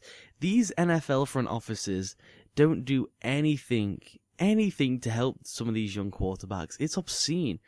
Look at what Geno Smith is playing with, right? And I'm not talking about the talent, I'm talking about the scheme. They got Marty Mornhinweg, he's a West Coast guy. Let's put Geno Smith under center. And whenever you get these spread option quarterbacks coming out of college, what you always hear in the evaluation process, because you've got all these dinosaurs in the league and on TV, can he drop under center? Can he take a five step drop? Will he play in a pro style offense? Who cares? Mm. Bring someone from college, run a spread option offense. Guess what Chip Kelly did last year? He brought a spread option offense to the NFL and it worked. He wrecked the league. He dominated the league in rushing the ball this this notion that college offenses won't work in the NFL is just just a dinosaur. Josh McDaniels runs a college offense in New England. They just happen, to have a Hall of Famer running the offense. You know, you bring in Geno Smith, who's never been told how to set an alignment, never called his own play. It's one of those offenses where you know huddle and you look over and they're holding up a key card like at Oregon to tell him how to run a play, and then you put him in front of the New York media and you say, um, you you know you leak stuff to the press that Geno isn't progressing as well as you should do. He's in a quarterback competition now. We need him to progress to win games. You've given him no shot. You get him a pro-minded offensive coordinator in a pro-minded scheme. Um, these guys aren't. You know, if Geno gets hurt, it doesn't kill the franchise anymore. It's not like if Jamarcus Russell got hurt and you know he ate his way out of the league, he was just a bad player. It's not like it kills a franchise anymore. It's a rookie wage scale. You plan for it. It's all built in. You can cut him they don't. This is the thing that I liked about what the Dolphins did with Tannehill. They brought his offensive coordinator. They brought in a load of those spread systems. They worked it in sort of, you know, in tiny little pieces to try and build this new offense that he could play in that was tailor made to him. It hasn't worked out yet, but at least they tried it. They don't try it. It makes no sense to me. Chip Kelly just ran all over everyone in the NFL running a college scheme and people like blown away. People have been doing it for years in college. Bring him in. Bring him in. No, it's just, yeah, I mean, I think, you know, some teams are not willing to um, embrace change. I mean, Chip Kelly brought in a system that, you know, that, that worked. And it was a breath of fresh air to the uh, to the NFL when you start seeing systems like that being, being brought in. But yeah, some teams are in the dark ages. Unfortunately, the Jets are one of those, and again, they're potentially a team that's overrated by their own by their own fan base. Um, I mean, if you want a pro style quarterback, why do these teams keep drafting spread option guys? Why did the Redskins yeah. move up to draft RG three if they want him to learn how to play in the pocket? Makes no sense. Ring up Art Briles at Baylor, offer him all the money in the world, offer him the five year, forty million dollar deal you offered Mike Shanahan, and just pray it works. At least give it a shot. At least give it a shot. And it's this is what's annoying because it's not going to work out playing him in the pocket, so you're going to lose your job anyway. Why don't you lose your job going down firing? Doesn't make any yeah, sense. Yeah, and uh, you know the thing is, if you if you don't even try and you then get fired, I mean, it, you basically um, uh, not even giving yourself a shot at it. At least if you do go down firing, it doesn't work. At least you can say, right, look, look, I gave it a shot. I did it my way, and you know it just didn't work out. It didn't work out. And it may be a case of you know another team will take a look and go, well, maybe in a different situation, maybe that'll work on my team. You'll get another shot at it. Anyway, to my football team, to Boston MA we go. 12 and 4 in 2013. Steven, they've got better. Significantly better. Gronk's back. They've upgraded some parts of the receiving core. Those young guys have just got better. Brady's always great. They were 26th in defense last year. They just went out and stole one of the best cornerbacks to ever play this game. And all the rookie young talent is improving and improving. They pick up Brandon Browner as well. I'm excited, man. I'm excited about this team. Uh, one fact for you 10 years since you won a Super Bowl. And we could do, we want to roll that out for every team in the NFL. No, exactly. What are you on about? I hate that argument. People say that to me all the time, and who cares? Doesn't mean I can't oh, be excited look at that. Look, just how you just you push that button, and all of a sudden it, it sets him off. It's like, it's like, a dog barking. It doesn't set me off. I'm not bothered by it. It's, it's, amusing that people think that's like a negative thing. Uh, Brady, you know, Brady hasn't won in seven years, and he won three before that. Who gives a shit? Joking aside, because that's that's what that is. I mean, it, anyone who listened to the podcast last last year will know that I, through gritted teeth, I, I, gave New England a hell of a lot of credit because I mean, the the guys that they put around Brady at times last year were not the caliber of players that they've had in recent times. But I always say this about Brady: is that Brady just makes other people around him just that much better. He turns these guys into much better players. He could take a, an average guy and turn him into a good player. He could take a good player and turn him into a great player. It's what Brady does. He just everyone just gets that much confidence. They know where Brady's going to put the football. They know they can rely on him 100%. I mean, for me, I mean, that, that was probably Belichick's maybe best ever coaching job he's ever done with that particular group last year with some of the things that they had to overcome. I mean, Gronkowski was out injured. They had other injuries. Other parts of their season as well. And I suppose that's maybe the only question mark coming into this season is around whether or not they're going to have the same kind of injury problems that they had last season. But I mean, I, got a guy like I mean, Darrelle Revis. I mean, that's just a, such a major game changing upgrade for you. I mean, it's just just incredible when you're able to put a guy like that out on the field. And I, I do really like the, the Patriots defense this year. And it's certainly been a, a major upgrade. You're not going to finish in the 20s in defense this year. You're going to be a far better team than that. I, for me, I don't think it's going to translate into regular season wins for no, you. And, and the reason why I say that is because I think the division is so poor that I don't. You're another case like the Colts. I think at times you could kind of like breeze through games. I think it's more important from the Patriots' point of view is it the fact they're healthy in the playoffs. Mm-hmm. Then they don't need to go out 100% through the regular season. So anyone who's going to sit there and go, oh, hang on a second, the Patriots are 12 and 4 last year. They're so much better this year. Maybe they'll, they'll win more games than that. I don't think they will. And I don't think they have to. I think they just, and then home field doesn't necessarily mean that much, even to, even to the Patriots from that point of view either. Is I just think they just need to be 100% healthy going into the playoffs because I think if they're that, then they become a very, very dangerous proposition. Yeah, I completely agree with you. It won't translate and it doesn't need to. I would genuinely put Gronk on the pup list. We don't need him for seven mm. weeks. We didn't need him for yeah. seven weeks last year. Just rest him, make sure he's 100% because they could have had, and I know people say, uh, what are you talking about? Gronk didn't play in the two Super Bowls they played in, and he is the most dynamic offensive threat in the league. You know, with arguably, especially at that time, the best quarterback in the league. It's definitely in the top three right now. By the way, I love the thing that um, he's not playing with some of the names he once played with because I don't know what names he's played before outside of Randy and, and Gronk. I'm reading this list here. This is a great list. People should go and find it. It's on the Pats pulpit, which is like my bookmark. Let's go and read about the Pats stuff. These are guys who've caught double digit touchdown passes from Tom Brady, okay? And there's only 12 of them. Deion Branch, Troy Brown, Kevin Fultz, Christian Fauria, David Givens, Daniel Graham, Rob Gronkowski, Aaron Hernandez, Randy Moss, David Patten, Ben Watson, and Wes Welker. And you can just hear the collective, like, what? Of, like, the people who got into the NFL in, like, 2012. Because, who are those people? No, you know, it's unbelievable. They finished seventh in total offense last year with little Danny Amendola and little Julian Edelman and LeGarrette Blount running the ball. Seventh. Do you know what Pat Brady did with some of those guys you read out there? He hmm. made them into stars. Oh, yeah, absolutely. And that's the thing. These guys weren't weren't stars before they were paired with Brady. But by the time Brady had finished with them, they were guys that people around the league knew. And it's you know, so when you look at it now and you sit there and say, well, you know, didn't have as much talent around him. It's probably not. It's probably not as fair in some respects. It's more the fact that they weren't as maybe as well known as some of the guys that we look back on and think, you know, these guys were just like tremendous talent. But by the end of the season, we knew all about these Patriots wide receivers. And again, a hell of a lot of that has got to go towards Tom Brady and the, the offensive scheme that's been put in place.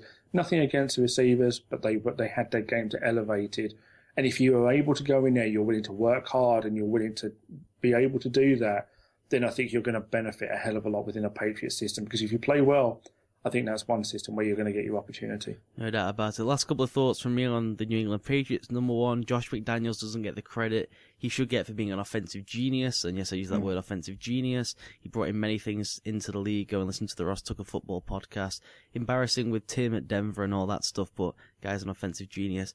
And the new New England secondary. Think about how poor it's been recently and it's always been rookies. Now we've got Revis Browner, Logan Ryan, who's going to be a star, Duron Harmon, who's going to be a star, and Devin McCourty. Yeah, I, it's I just loaded. it, it's an upgraded defense. That's what I said to you. You're not going to finish as low as you did last year, and you put that against with that offense, and as I say, I mean, it, it, it won't translate to any more wins in the regular season, but it's going to be very, very dangerous in the in the playoffs. Let's get to the Buffalo Bills then, because this should take two seconds. They've got a head coach I got no faith in. He should still be in college, and they've been Jim Schwartz. This went under the radar. Jim Schwartz is the new defensive coordinator of the Buffalo Bills. I mean, it's game over. Why did they trade him in the draft when they got Schwartz? It's just it's one of those things, isn't it? I mean, I do you know what the the the funnest part of this season for Buffalo is going to be Sammy Watkins. Oh, he's never going to get the ball. Who's going to get the ball to Sammy Watkins? EJ Manuel. Well, I, I, well, when he does get the ball, I think it's going to be the most fun part of the season. I don't necessarily think he's going to, you know, he's going to set the world alight because I don't think he's had the ball that much. But that for me is going to be um, the highlight. I mean, uh, Alonso's out for the season. Um, I mean, EJ Manuel couldn't stay healthy last year. Can he play a whole season this year and see whether or not he's he's actually a guy that can be um, a, a, quarterback in this league. I, the fact is, as bad as Buffalo are going to be, they'll still find a way to beat beat Miami. What he did last season. Um, I think I said it to you off air once. I don't know if I said it on air before, but um, I genuinely believe, and I spoke to a couple of people who feel similar now. EJ Manuel isn't always hurt. Like they're not bad injuries. They're injuries that other quarterbacks would and yeah. can play through. And I think it's something he needs to learn that look, young fella, this isn't Florida State. Everything isn't handed on a on a card to you. You're not playing with five star recruit offensive linemen. Someone's gonna hit you. Your finger's gonna hurt. Go out there and throw the ball. Do you know what I, I, I jokingly said about it is having this trial episode. Um, I do you know what I think a fun segment that sometime in the future. I sit down with EJ Manuel. no, no, not even that. I think an even better segment would be the fact that at some point I'm going to get you to play the part of a particular person in the NFL, and you're going to be that person. I can do that because I think it would just be absolutely hilarious. It just made me laugh when you've just gone about the you know the pep talk to EJ Manuel and about his injury issues. I love taking on the role of a coach. It's because it's what I want to do. So I love taking on that role. Um, Sammy Watkins is going to be a superstar. I have no issue with them giving up a first round draft pick next year, even if it ends up being a top three overall pick and they miss out on Jameis, who's going to play baseball. I wonder who's going to take the gamble on drafting him in the top five and he's going to play baseball. That, that's a quandary for me. Um, or you miss out on Marcus Mariota. He's to me the second coming of Randy. Do you see him do that double move in that YouTube video? I haven't seen a rookie do that in a long time. He's going to be spectacular. So he's exciting for Buffalo fans. So the Buffalo fans this year, Steven, just to just to recap this for them so they can get in their heads. Number one, Donald Trump's going to buy your team. He's going to move it to Brooklyn. He's going to move it like you know a state. Doug Marrone's going to be out as head coach. You're going to get Jim Schwartz. He'll probably get promoted upwards because that's what Jim Schwartz does. And you're going to beg to see Sammy Watkins catch the ball, and he's got no one to throw the ball to. yeah, it's, it's, it's, going to be a, a, a, fun season. Maybe we should get uh, Cole Pfeiffer, who came on the show last year to, towards the start of the season, as, uh, talking about the Bills. Maybe we should get him back on after the Bills get off to a slow start. Yeah, I feel bad for that. That's another defense I feel bad for. They'll be on the field constantly, and they're so loaded with talent. It's just it's brutally unfair. Um, let's do AFC standings. Okay, so in the AFC East, um, I'll go first this one, and then I'll let you go first on the on the last division. But I've got Buffalo at five and 11 mm-hmm. um, for every single reason we've already talked about. I've got Miami at seven and nine, another very poor season for us. It's not going to be fun. I've got the Jets still uh, eight and eight, too many question marks, and then I've got the Patriots at twelve and four, same as last year yeah, they could win more games if they wanted to, but they're not going to want to win those games. They're just going to want to stay healthy. Yeah, I think that they're all in with the playoffs, and that's where we'll see a difference. Hopefully, hopefully, fingers crossed. I got the Bills at four and twelve for everything we've already articulated. Dolphins at six and ten. I'm a little bit more down because you know my feelings about Joe Philbin. I couldn't give him that extra game that he would deserve. A coach will win on his own two games, I think, a year, and Philbin isn't getting either of them. The Jets at nine and seven because Rex will win you a game at least one on his own. And I got the Patriots at 13 and 3 because the division stinks so much. They're going to sweep through it. They're going to gain a load, a load, of momentum. And I think only the Broncos can stop them in a, in a one on one game. So 13 and 3 for my Patriots. This is one of the first times they're going with like crazy confidence in the Pats. Yeah, this is it. And, you know, for myself as a Dolphins fan, you know, I, I think I'm quite impartial when it comes to the Patriots. I'm not. I don't tend to shoot them down as much as I would like to. And, you know, I've got a healthy respect for the the New England Patriots organization, and you know I, I can't look down on them because I just think they are you know a very good football team, and it's going to be two very very tough games for Miami this season against them. I don't think Miami will beat the Patriots this season. Okay, let's go to the final division in the AFC to wrap up this preview. Let's look at Denver, and I cannot understand how this organization has gone from that final year of Tim trading into the Jets to where they're at now. It's sensational. They have the number one offense of all time behind Peyton. This is their coaching staff. Remember we spoke about just getting good coaches in. You got John Fox, who's a elite defensive coach, has been to the Super Bowl on his own. You have an offensive coordinator that doesn't matter because Peyton Manning runs the offense and he's one of the best offensive coordinators and he's still playing to ever play this game. And Jack Del Rio, who was a good head coach in Jacksonville. Jacksonville wish they had him back now and could be a head coach wherever he wanted to be, but turned down the interviews because he says, I want to win a Super Bowl ring and he wants to go and win one with Denver right now. So they a team again just flooded with good coaching, and then you added Demarcus Ware, you added Aqib Talib, you steal T.J. Ward from Cleveland. He's a really good safety. Think about how bad they've been in, in the secondary. You remember the burn play with Joe Flacco over Rahim Moore? Won't happen anymore. and they lose Eric Decker, but it's fine because we'll Rob Emmanuel Sanders, who's a really good receiver out of SMU and was at Pittsburgh, we'll bring him in instead for Peyton. I, I don't know how they get better every year. It's it's unfair. Yeah, they, they, they do get better every year, and you know Demarcus Ware as well, and they've got they got such a talented group of players around Peyton Manning, and if they do end up losing a player, they just seems they upgrade it anyway, and it that just becomes very very difficult to watch. But you know they're, they're a very talented offense that were made to look very very average in the Super Bowl when they got off to a very very slow start, and they never really recovered from that.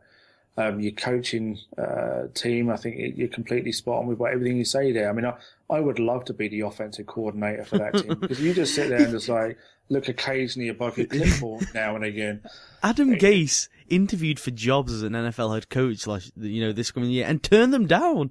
Are you kidding me? He's got the best job on the planet. He's like, why would I leave this for the yeah. pressure pit when I'm coaching Peyton Manning and everyone's interviewing me and wants me as like this genius? Peyton's running the show. He audibles every play. He did it in the first play of the Super Bowl. He never calls a play. Is that, yeah, this is, that's, that's exactly what Peyton does. So, yeah, he could actually send out any particular player. Yeah, I would do it. Go, I, uh, no, I'd send out a really bizarre personnel package and set, and just watch Peyton try and move it around, and then he'd probably get like a ridiculous like fake screen touchdown because he's Peyton Bloody Manning in the regular season, of course. Steven, let's not kid ourselves. Yeah, a regular season quarterback or Hawaii Manning, as I as I dubbed him previously. Maybe they should um, let Adam call some more plays in the playoffs.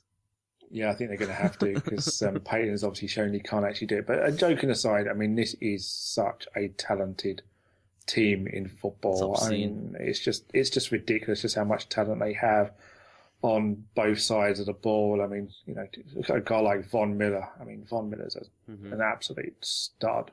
I mean, just, and wasn't it, taking drugs this year apparently, so he's allowed to play for oh, most of the year. Oh, there you go. I mean, you know, clean Von Miller, clean Von Miller, maybe not. We don't know. Um, I'm saying that in all seriousness as well. Um, what I like about them is defensively they lost bigger names, so you lost like a Champ Bailey and a Dominique Rodgers-Cromartie, but they got better because they just went out and signed good players to replace them. I really love Bradley Roby out of Ohio State.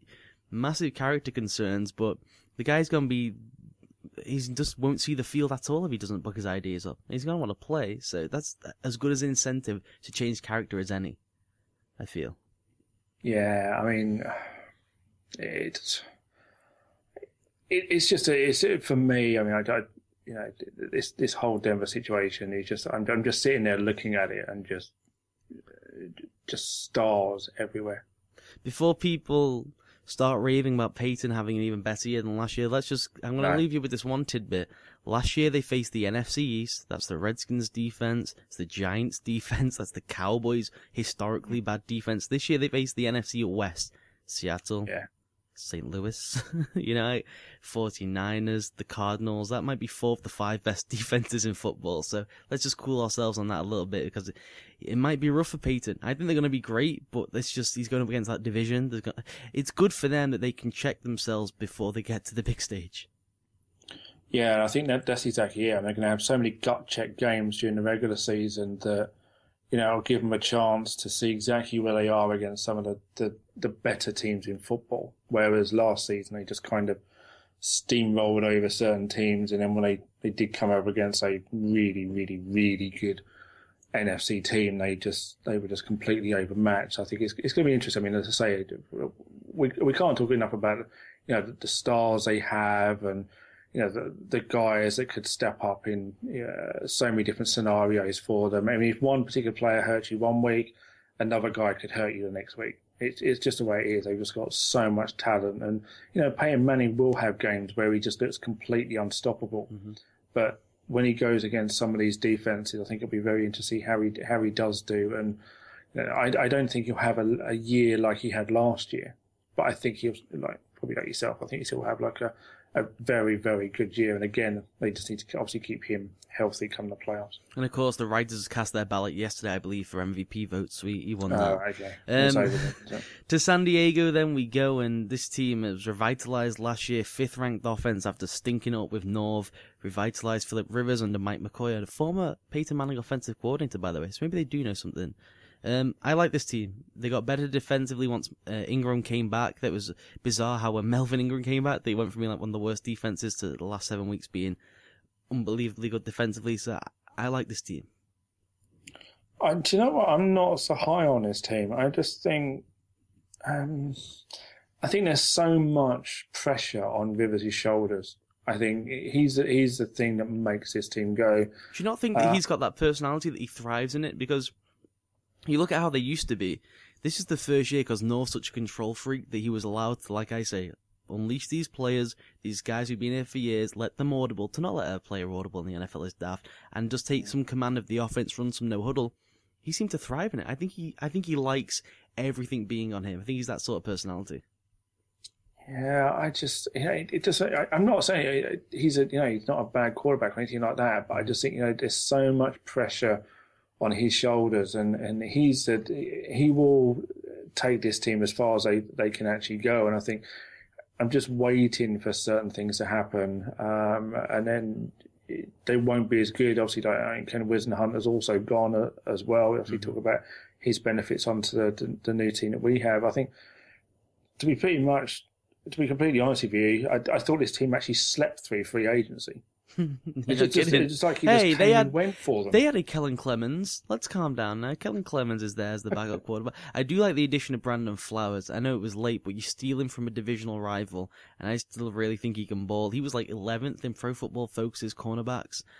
Stunned that the Chiefs let him go. Really odd decision. Must have been to do with salary cap. But I don't get involved with that. I leave that to Dutton. Um, I like that one, but like you said, they did nothing else. What else did they no, do? They just, this is, they just, like, just if it didn't happen. It's bizarre. Just, they didn't lose anyone though either. This team, when you finished the season, was just like, okay, well, uh, when does the next season start? Yeah, they lost no one. They they only lost Derek Cox. They brought in Brandon Flowers. They play the same position, so it's basically one and the same. The the one thing I'll give people to look out for is this Jeremy Chu out of Georgia Tech, the rookie. He probably won't play much, but when you talk about physical freak, remember how high I was on Khalil Mack? This is like a carbon copy. He just didn't play all the time. He's going to come up with some, you know, red zone's going to come on, and the guy who swats the ball, grabs the ball, hurdles someone, and takes it to the house, that might be Jeremy Attaochu. He's special.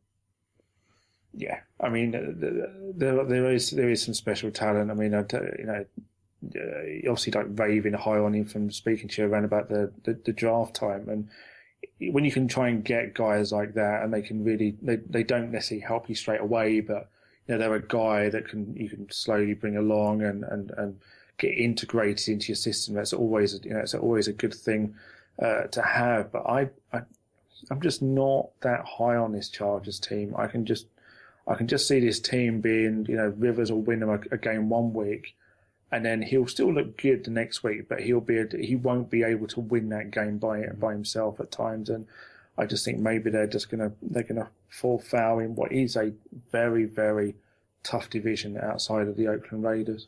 To Oakland, then, the gift that keeps on giving. You talk about bizarre franchises with zero direction. I think their GM might be on the hot seat because when you look at a guy who was in this plan of, I've got no cap room, I'm backloaded in cap, I can sign like vet min guys because we've loaded the cap with guys who aren't on the team.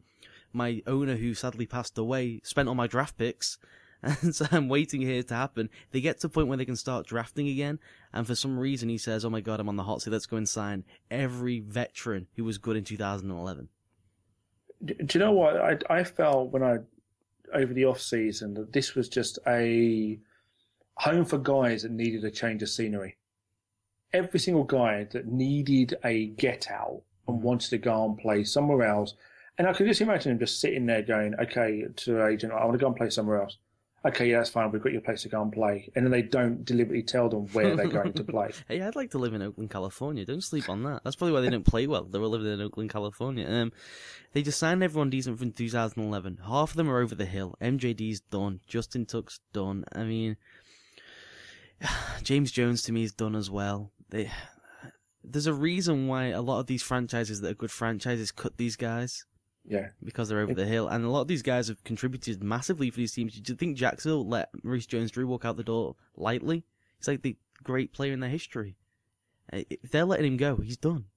Yeah, he is done, and he had a really poor season last year as as the Jaguars running back. So they brought him over. They got uh, Matt Schaub uh, coming over as quarterback. I mean, I say it's it's like almost like a, a place where players go to die. Mm like their final little door they go through before they exit the NFL. Mm-hmm. They've all and got to go sad. through Oakland. That's got to be part of their contract whilst they play in the NFL. It's sad because guys who really study the draft and watch college football like me, it was a great little team last year because it was all those like fourth round picks that you told your friends about before the draft. Yeah. Like, or like when undrafted, you're like, this guy's gonna be good. Trust me, trust me. And they never do pan out, but you, you want to believe in them because you loved them at Florida or something. They all made their way to Oakland and they were there again this year. My guy Khalil Mack goes there. Interested to see what Derek Carr because I don't think he can play, but people love him. It was becoming this nice nucleus of young guys who it's like, I can literally see them translate from one year to college and go straight to the NFL. And now they blew it up by signing all these veteran guys. Yeah, so you're either doing one thing or the other. You're either going down the youth movement mm-hmm. and you stay away from these guys, or you sign these guys and because you don't know quite what you're doing. And I think it more reeks the fact they don't know what they're doing. I mean, Khalil Mack is a is a can't miss prospect. Mm-hmm. Well, he is. It's the Oakland Raiders, but. if they just let him go and play, then you know I'm very excited to watch him. They also have the uh, Gary Kubiak factor that they may quit on their head coach. He's on the hot seat, and by week four we know he's going, but they won't fire him, and so then they just quit. That's in there.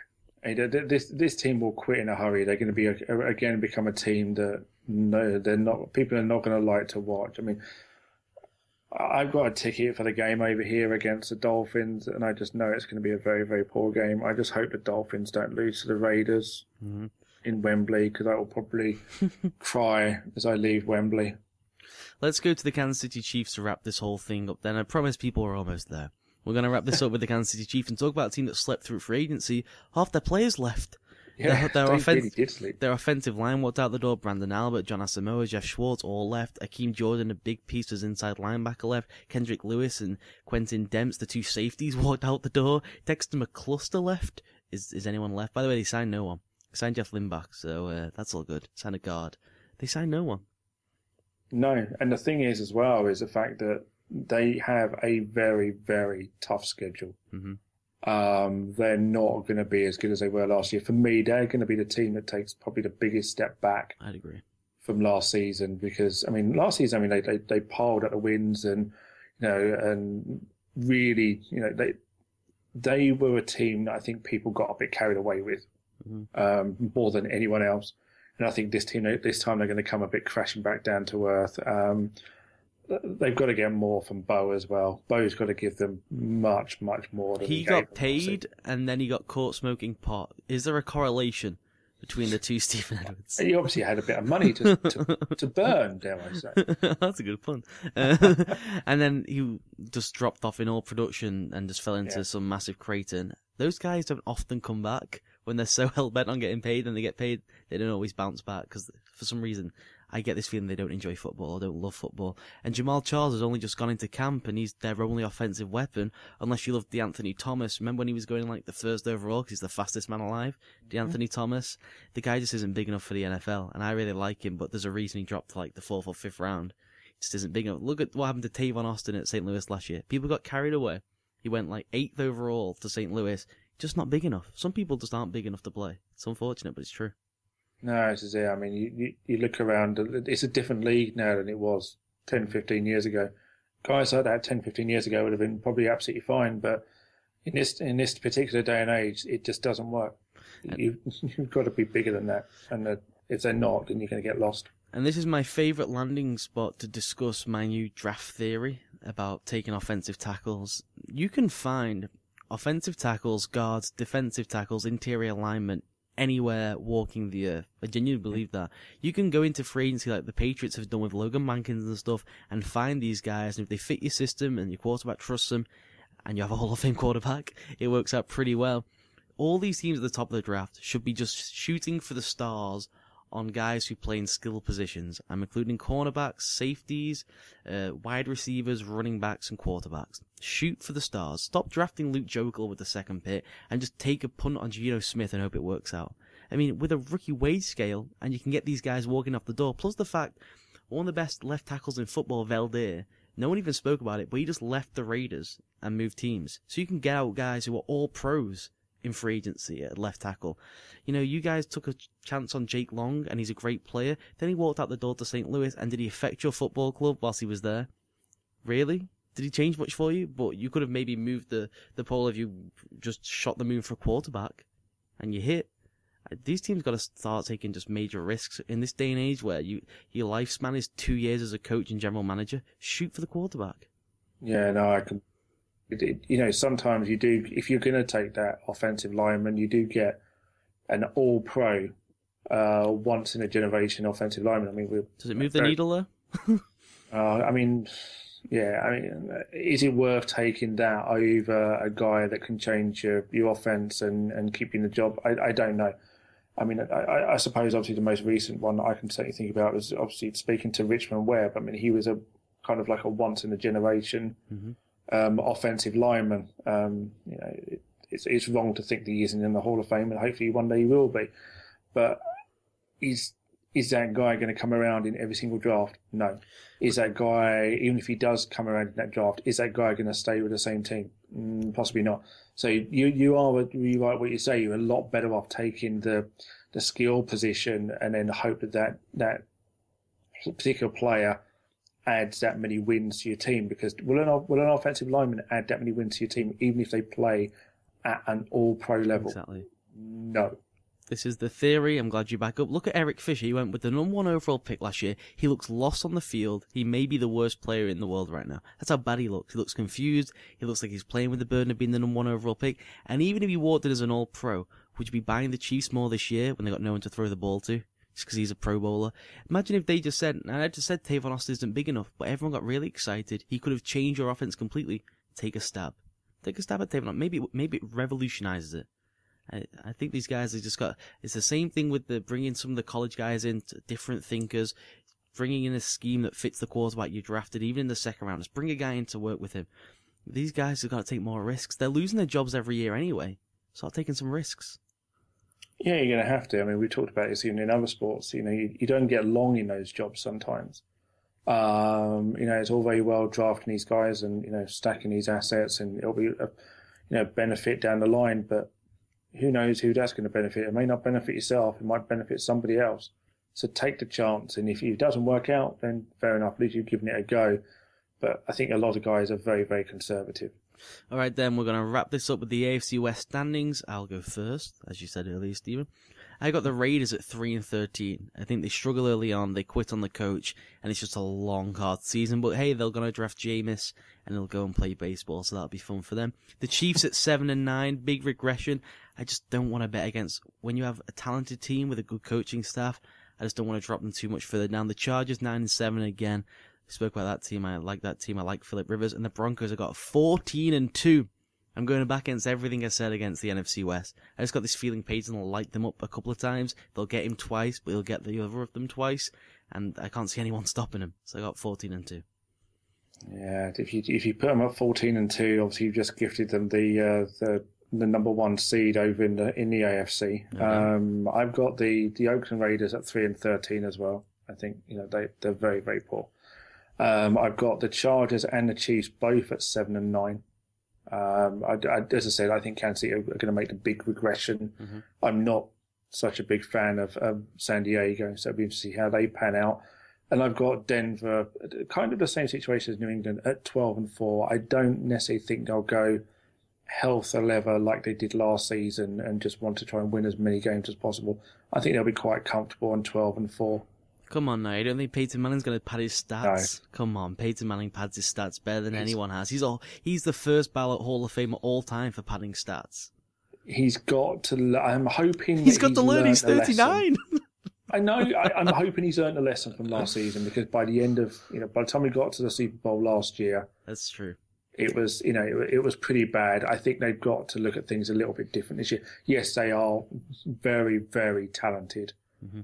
but they've got to be they've got to play a different game this season than what they played last season. So now it's time to crown our AFC champion, and it'll be interesting to see exactly oh, who you're going to crown as your AFC champion. Wow, this is a this is a curveball. I've completely forgot at this point in the game, an hour and a half in, that we were doing this part. I genuinely think that you know the Colts are a good team, but they're going to get knocked off by the Pats or the Broncos. The Pats and Broncos. I do believe I, I want to make this bold prediction that someone from the AFC North someone not named Denver and New England will represent the AFC, but I just can't do it because it's just too easy to pick the other guys. He looks silly when we get here, you know, in February, and it isn't one of these, and I didn't pick one of these two. So I will say it's Denver versus New England, and there's no chance in hell. In a championship game, I'm picking against Tom Brady against Peyton Manning. I know, don't tell me about last year. I'm talking about me personally as a Pats fan. I ain't doing that to Tom. I'm I'm I'm gonna take the Pats. See, I, I, am not sure if I said to you off air actually, or I, have mentioned this to a couple of people, and I think if anyone's been following my Twitter account, they'll, they'll. I'm sure I tweeted out what my early Super Bowl prediction was, and anyone who didn't see it, I'm not going to spoil from the NFC side of things when we do the NFC preview um, in a, in a few days' time. But my AFC Championship winner is the New England Patriots. Yes. Book us in. You already know that anyway, because I'm sure you remember me saying it too. Um, but I, I just think that New England this year, I mean, the defense has been upgraded. Mm-hmm. Um, I wouldn't want to bet against that offense. I just can't see Peyton winning another one in Denver, and I just think it's going to end in a in a bit of a, a bit of a sad tale. So as much as it pains me to say, I have got the the Patriots going to the um, uh, to the Super Bowl this year. Well, I thank you for that, sir. And Darrelle makes all the difference. Thank God, Team Darrelle. I'm all in with Darrelle Revis this year. I so badly want to pick the Steelers. For some reason, there's something in me that says just pick the Steelers. They'll get figure out. But the Patriots are loaded. They're loaded where they need to be finally to make a playoff run, and we both picked them, which is a bad omen. But I'm still excited. I, I think you've got every right to be excited this season. I think if they if they take the approach of that they need to be healthy just come playoff time, which I think they will do. I mean, I wouldn't bet against Belichick not making the, the right decision. Um, I, I, just think that that will, you know, put them in a very good position to win the, the, the AFC this season. And it's, it's, you know, it's difficult to bet against Peyton because obviously he's got so many talented players around him, and I think that'll make one hell of an AFC Championship game. Okay. New England against Denver. I think that'll just be the championship game that we all want to see. It would be nice maybe if one of the other teams from uh, one of the other divisions did throw a little bit of a curveball in there, but I really, at the moment, can't make the case. Steelers are potentially the only one, but I really would not want to put one of those teams in the in the AFC Championship game. And if you do that, you're just gambling on three guys: Tomlin, Big Ben, and Dick LeBeau. Yeah. It's like there's no other rhyme or reason to do it, but I just still want to gamble on those three guys because it come up trumps. All right, buddy, we'll leave it there for a comprehensive AFC preview. What more do people need? Exactly. This is the um, the, the, first part of it. We've got uh, the NFC preview coming up, and that's going to be a lot of fun. I'm looking, you know, I'm looking forward to talking about that. I said to you tonight, I'm looking forward to talking some football because football season is almost here. Damn right, and I'll talk to you with some NFC football next time. Until then, it's a good night from me.